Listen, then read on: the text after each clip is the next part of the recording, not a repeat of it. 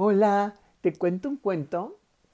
Una mañana húmeda y soleada, cinco amigas salieron a pasear. Iban como siempre, muy arregladitas, verdes croando y saltando. ¿Adivinas qué eran? A ver.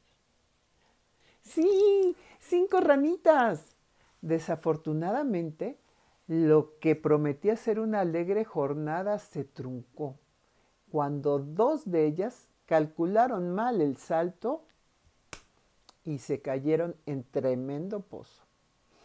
Las otras tres corrieron a asomarse al borde del agujero y se miraban compungidas. La más grande exclamó horrorizada, ¡Crack! ¡Crack! ¡Crack! Ay, no. Mejor se los traduzco porque así no vamos a entender. ¡Oh, no! Nuestras amigas están perdidas. No tienen salvación. Negando con la cabeza, empezó a gritarles. Se cayeron en un pozo muy hondo. No podemos ayudarlas. Y no traten de salir. No, es imposible. Las dos ranitas miraban hacia arriba aterrorizadas. Querían salir de ese oscuro túnel vertical a toda costa. Empezaron a saltar sin descanso, probando todos los brincos que se sabían. Pero la distancia hacia la luz ¡ah! era enorme y ellas pequeñas. Otra de las ranas que las observaba desde la boca del pozo, en vez de animarlas, ¿qué creen? Se unió a su compañera. Es inútil, no malgasten sus fuerzas. Este pozo es muy profundo. Las pobres ranitas continuaron intentándolo, pero no llegaban o se daban de bruces contra las paredes llenas de musgo. La tercera rana también insistió, Déjenlo, ya no salten, se van a lastimar. Las tres hacían aspavientos con sus patas y chillaban a todo lo que podían para convencerlas de que iban a fracasar.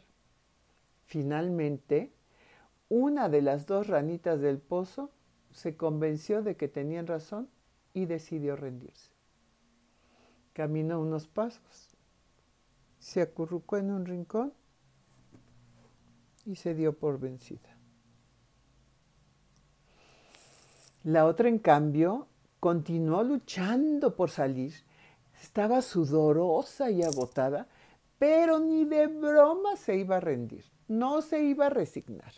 En vez de eso, se paró unos segundos a recobrar fuerzas y a concentrarse en su objetivo. Cuando se sintió preparada, Aspiró todo el aire que pudo. Cogió carrerilla y se impulsó como si fuera una saltadora olímpica. El brinco fue tan rápido y exacto que lo consiguió. Cayó sobre la hierba, sana y salva. Una vez que estaba fuera, su corazón seguía latiendo a mil por hora y casi no podía respirar por el tremendo esfuerzo que había hecho. Sus amigas la abanicaban con unas hojas y poco a poco se fue relajando hasta que recuperó la tranquilidad y se acostumbró a la cegadora luz del sol. Cuando vieron que ya podía hablar, una de las tres ranas le dijo, es increíble que hayas podido salir a pesar de que te gritábamos que era una misión imposible. Ella muy asombrada les contestó, ¿Eso me decían? ¿Que no lo intentara? Sí, claro. No parecía que jamás fueras a conseguirlo. Les queríamos evitar el mal trago de fracasar. Uf, pues menos mal que estoy medio sorda y no las entendía. Yo pensaba que al agitar las manos lo que querían era animarnos a salir. Gracias a su sordera, la rana no escuchó las palabras de desaliento y luchó sin descanso para salvar su vida hasta que lo logró. La otra ranita Cuando vio que su amiga había podido, volvió a recuperar la confianza en sí misma. Se puso de pie, se armó de coraje y también aspiró una gran bocada de aire. Con una potencia más propia de, una, un puma, se propulsó dando un salto espectacular que remató en una doble voltereta.